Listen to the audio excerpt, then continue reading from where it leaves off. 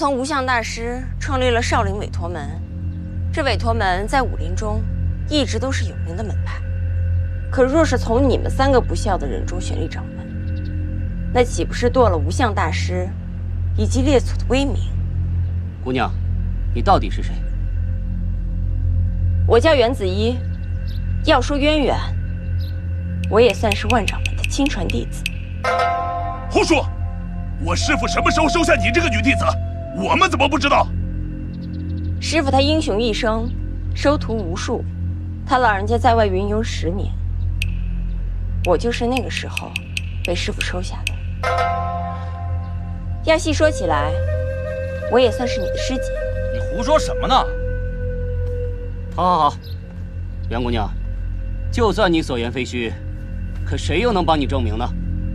师傅把他最好的武功都传给了我，难道这还不算是证明吗？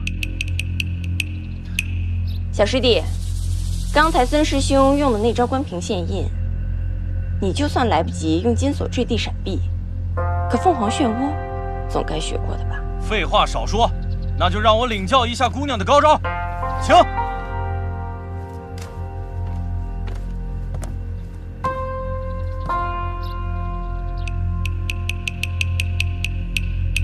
姑娘，看好了，关平现印，来，凤凰漩涡，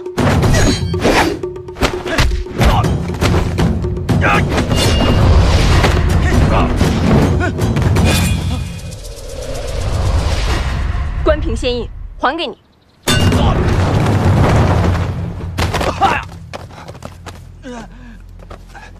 关平现印，并非站定蓄力的一击杀招。要在任何时候，都可以使出六合刀法的任意一招，这才算真的将其领悟参透。怎么样？我用的可是正宗的委托门功夫吧？看武功路数，的确是六合刀法，只是不知道姑娘为何而来。那还用问？既然你们要比武争掌门，那我自然也要来争一争。小姑娘。会几招六合刀法就为所欲为，你也太不自量力了吧！我可没那么多功夫陪你们玩，不服就手底下见高低。好，拿枪来。好，那我就让你们见识见识什么是真正的六合枪法。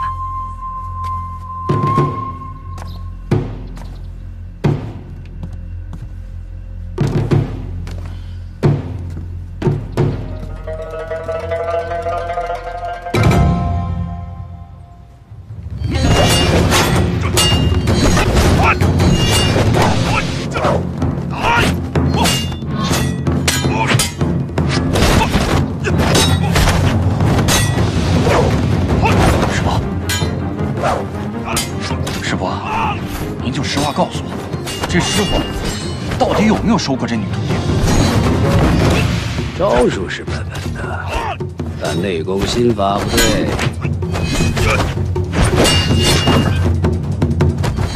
师傅，您真的该出手了。这下丫头不简单，只能收放自如。把六合枪练到这种程度，还真有点让人防不胜防。美人认真。四夷蝙蝠，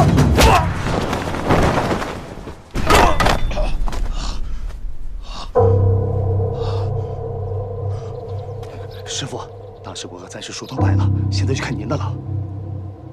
这刀和枪都不能跟他比了，要比只能比赤尻连拳了。这赤尻连拳可是咱们韦陀门的童子功，讲究的是贴身近战肉搏。这可是我们小时候光着屁股打武功基础的拳法。嘀咕什么呢？就剩你一个人了。我看袁姑娘生得精致美丽，这舞刀弄枪的，万一有什么闪失，我可承担不起啊。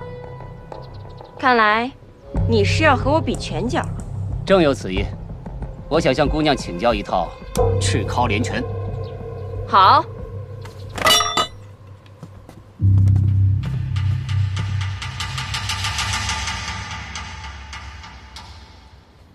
请。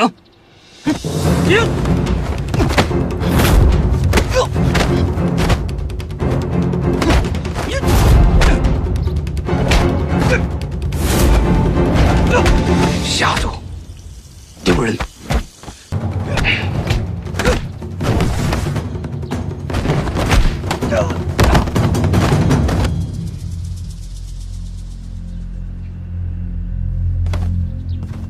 好不要脸！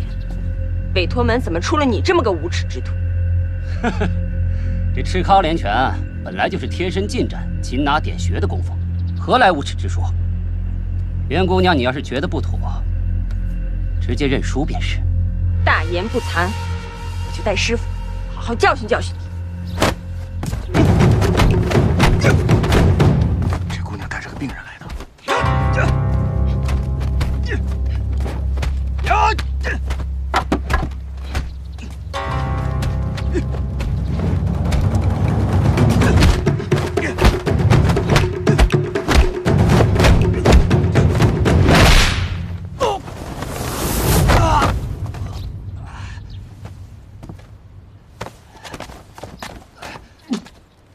服不服？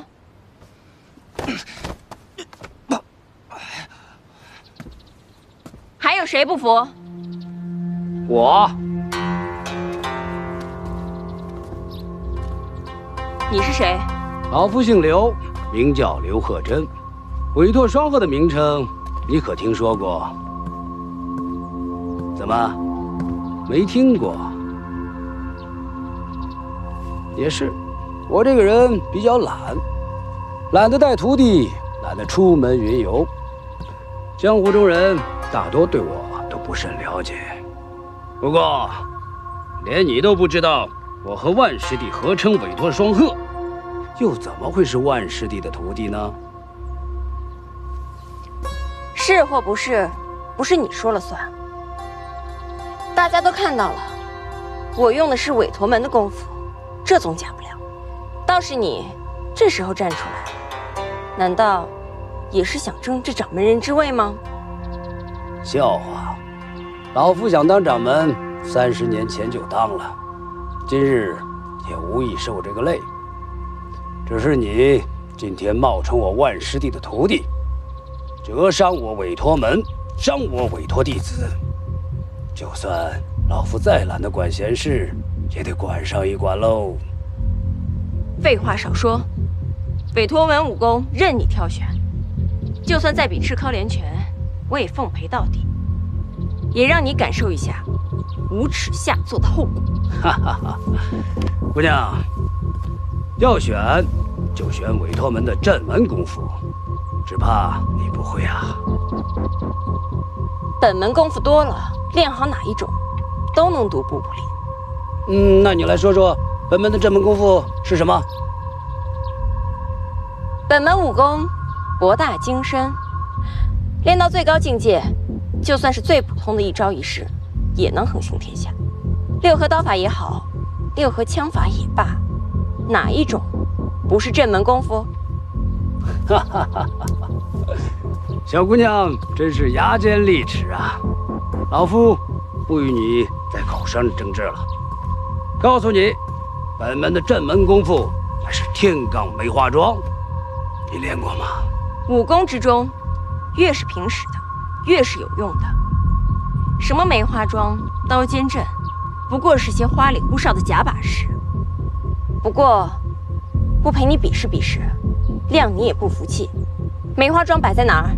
好，有气魄。来人，取碗来。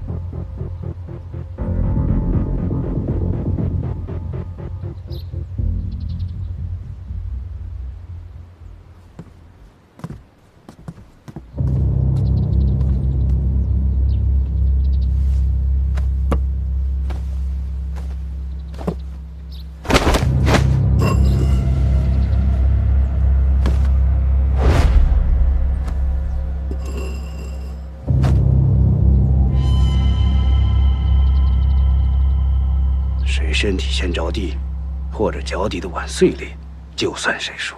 动手吧！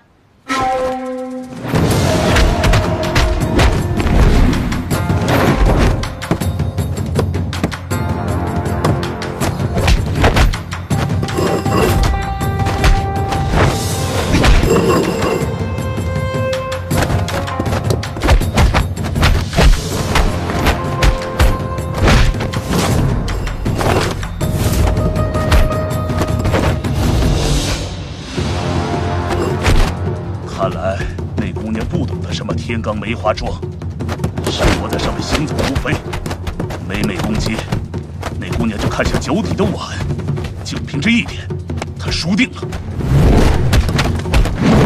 看到了吧？他也就仗着轻功好，跟师伯还能周旋周旋，要不了一时半刻，他就会被师伯逼得退无可退，脚一着地，他就输了。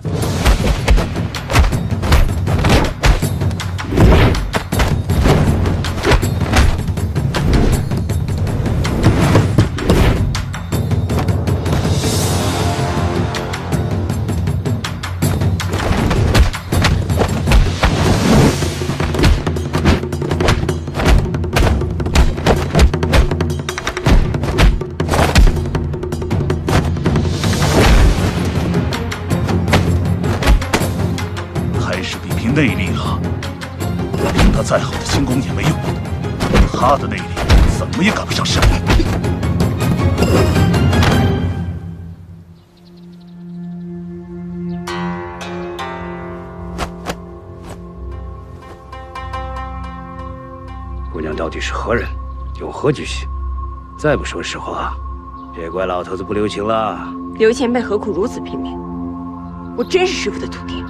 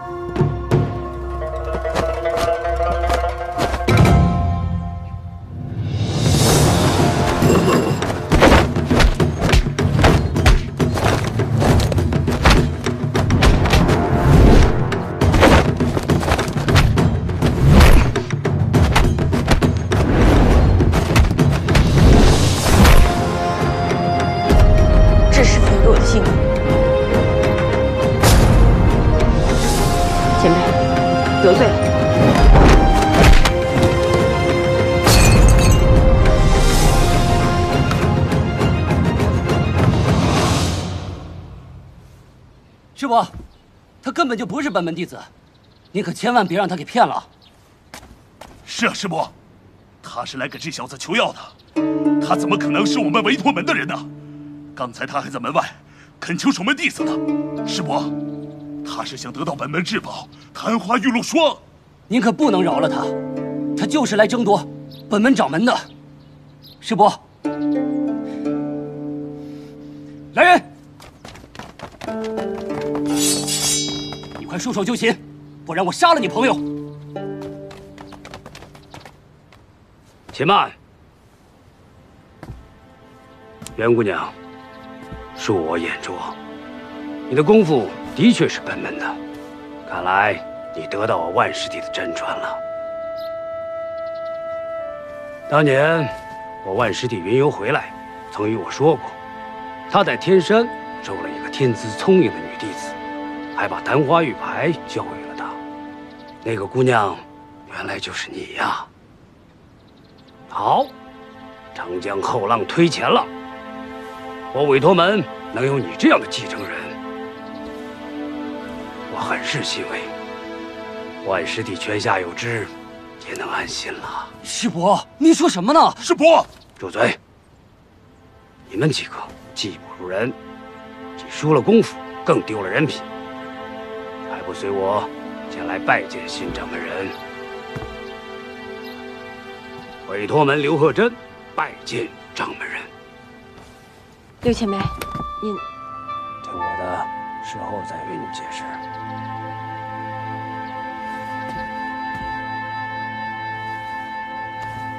委托门刘鹤珍拜见新掌门人。拜见新掌门人，拜见新掌门人。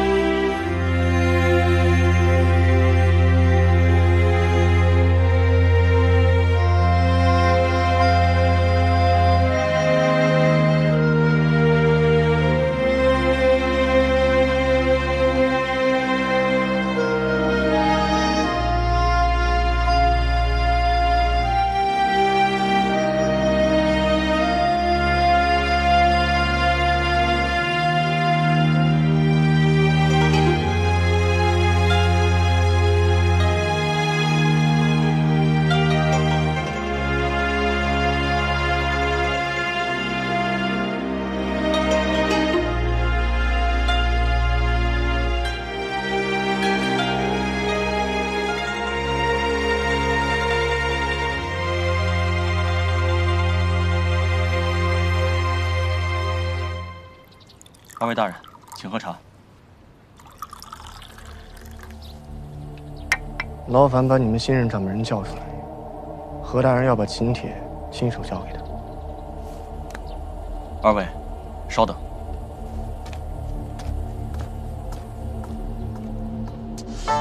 这半路杀出个程咬金来，现在怎么办？这又何妨？谁当了掌门，咱们就和谁要探花玉露霜。谁还敢驳了何大人您的面子？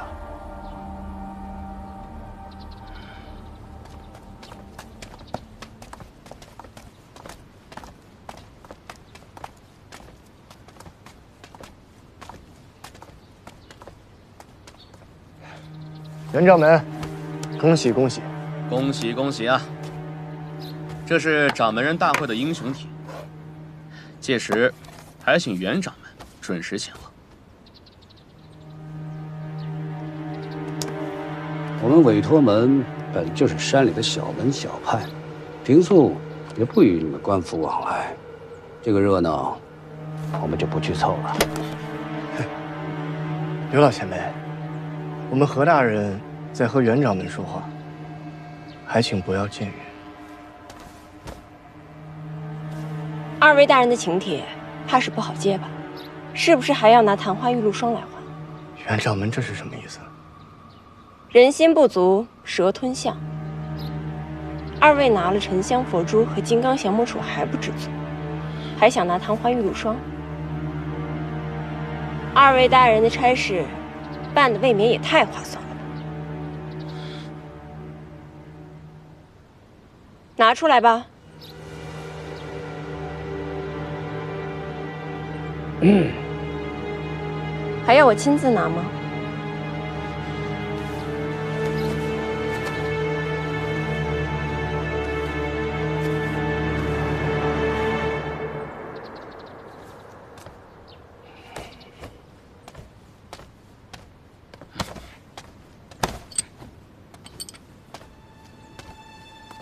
本门宝贝不能外流，二位走好不送。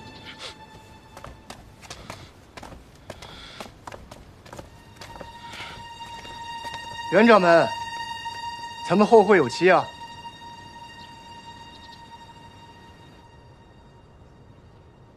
门派倒是不少，竟是些个虾兵蟹将，名门大派倒没有几个。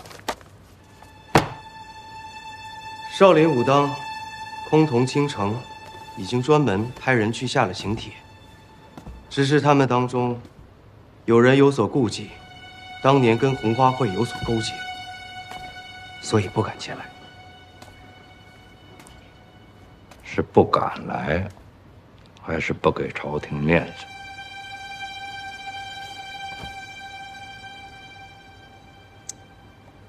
你以为那些武林人士仅仅只甘心习武强身吗？能开宗立派的强人，多少会有些威望和人脉，久之。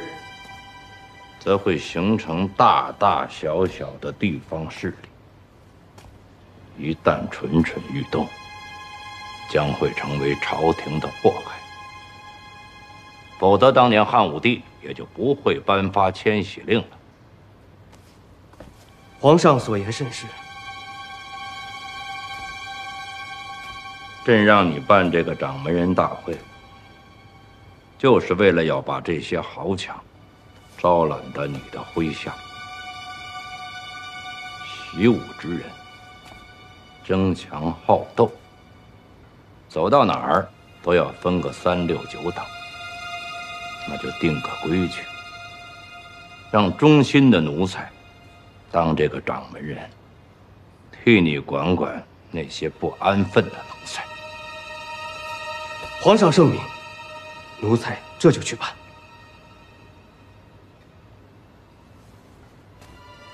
别让朕失望。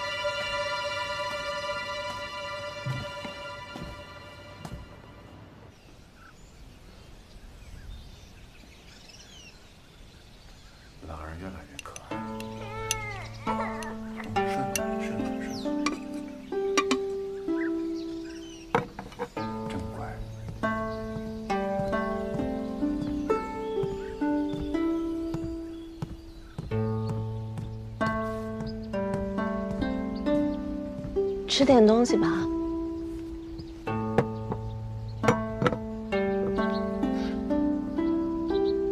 长得越来越像你了。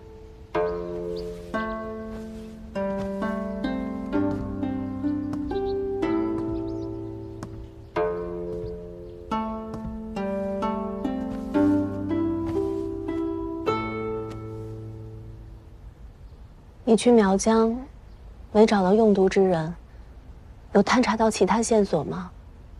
没有。你迟迟未回，有人传来消息，说你身遭不测。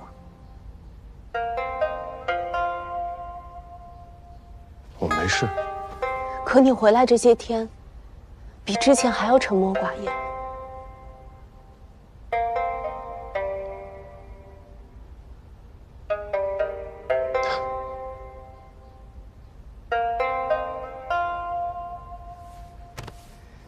任峰，你有没有想过，江湖险恶，人心叵测，事情过去十八年了，恐怕那些人也有可能已经作古，再无从查起了。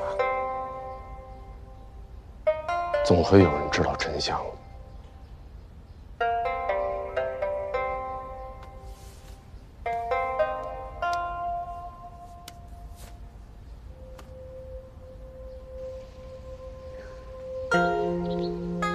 准备继续再查吗？非找到下毒之人，方能平我心中不安。你若再出门，你将我和兰儿置于何地？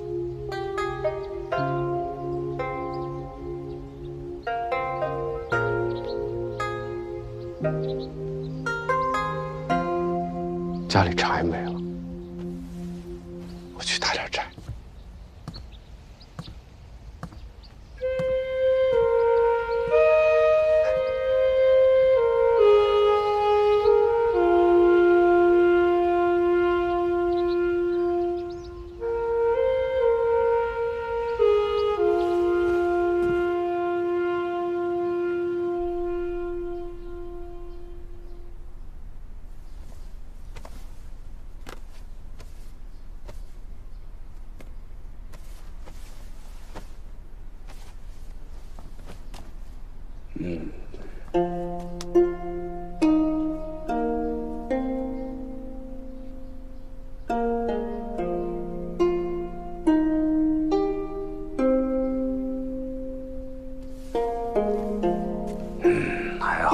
好来得及时啊！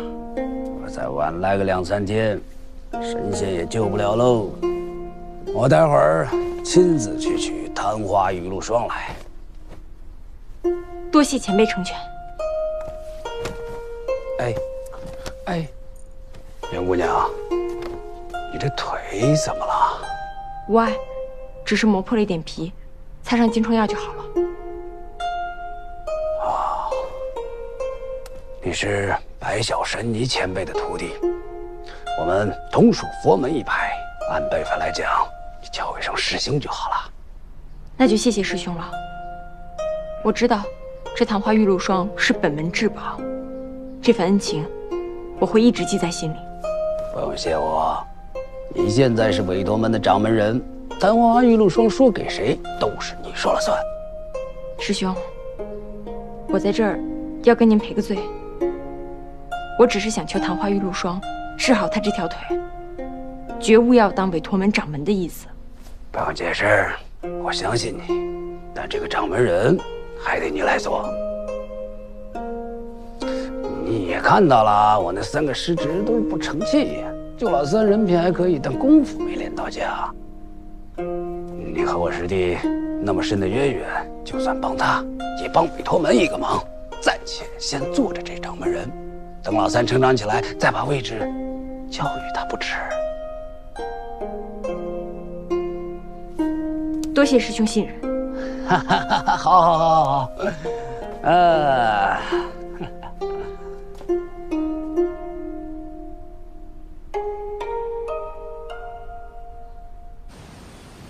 掌门，这一来，您跟苗人凤这兄弟算是当到头了吧？咱们这一趟去苗家庄，还能活着回来吗？你还有脸说？要不是你听风就是雨，传假消息，又何至于此？是我愚钝，可是我说苗人凤死，也是想帮您得到一段家园。我以为说出他已死的消息，您和大嫂就坦荡了。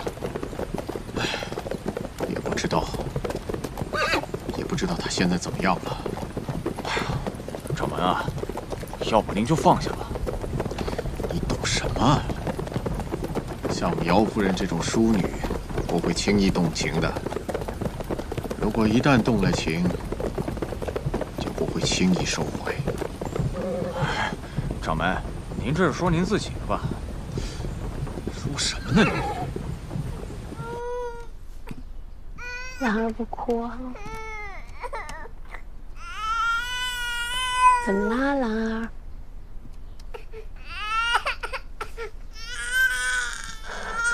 受了没事啊？兰儿，没事啊？是啊，乖啊。是你，兰儿她怎么了？她发烧了，身上烫得很。快去叫大夫！是。苗苗大哥他不在吗？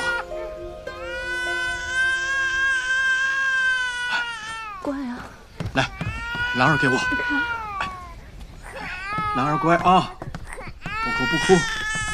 来，啊，没事没事了啊，田叔叔在，乖，没事了。这些都是你近日在天龙门用习惯的。上次你走的匆忙，没带上，怕临时买不到。你有心了。要不是你来，兰儿不知道说会怎么。什么呢？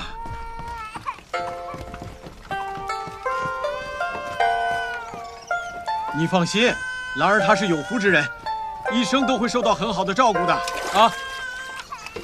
她呢，一定会逢凶化吉的，所以你别担心。来，我来，我来，我来，我来。兰儿乖啊，不哭啊。寿兰官，想念田叔叔吗？啊，来，等你哎康复了，田叔叔陪你玩，好吗？不哭不哭不哭啊。田叔叔在这儿呢，啊，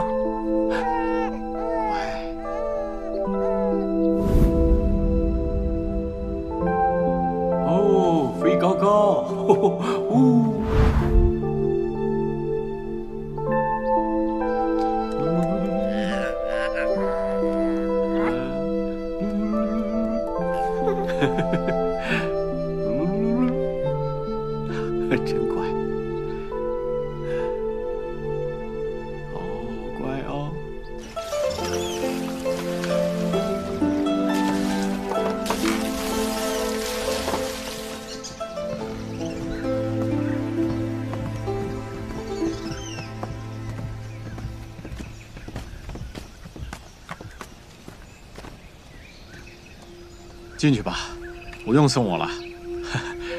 我刚才不是说了吗？兰儿肯定逢凶化吉，你看，烧一下就退了。谢谢田叔叔。那我走了。兰儿，田叔叔先走喽，啊，回头再给你找一个好点的大夫啊。不必了，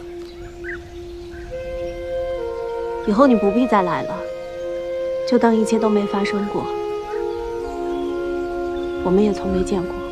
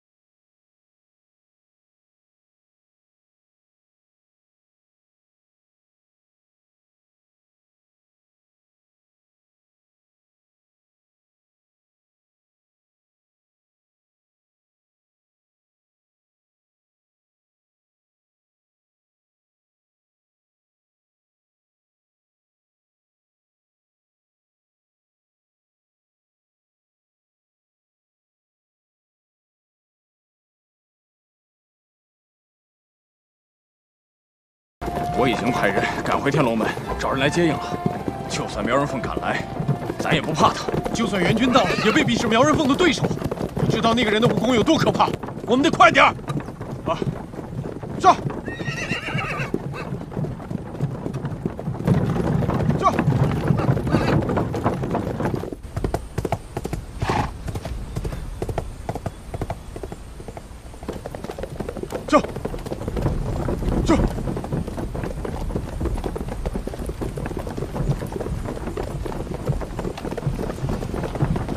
停车！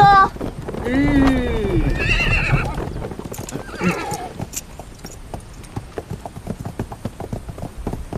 鱼，蓝妹，怎么了？归农，你可想清楚，这一步踏出去，便没有回头路。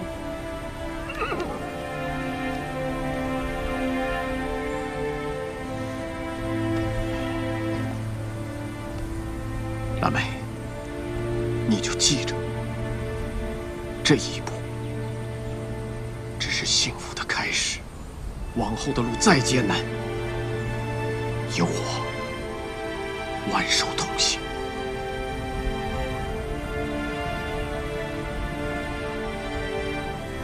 别多想了，启程了啊！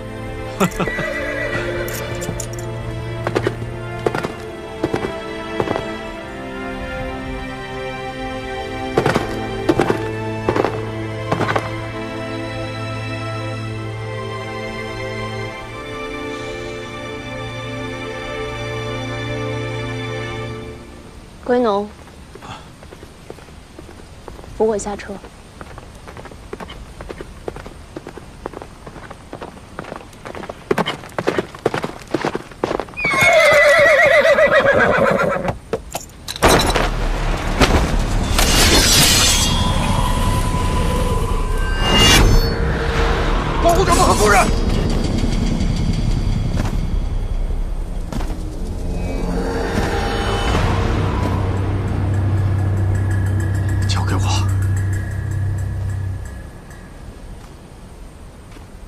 打得过苗大侠吗？啊！你们连他汗毛都碰不到，还在这里丢人现眼！让开！让开！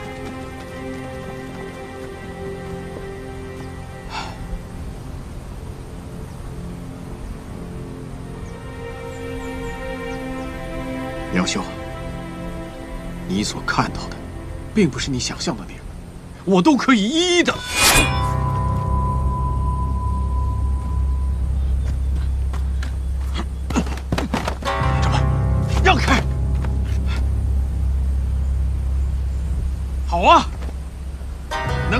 天下第一高手的剑下，我田归农，死得其所。来呀！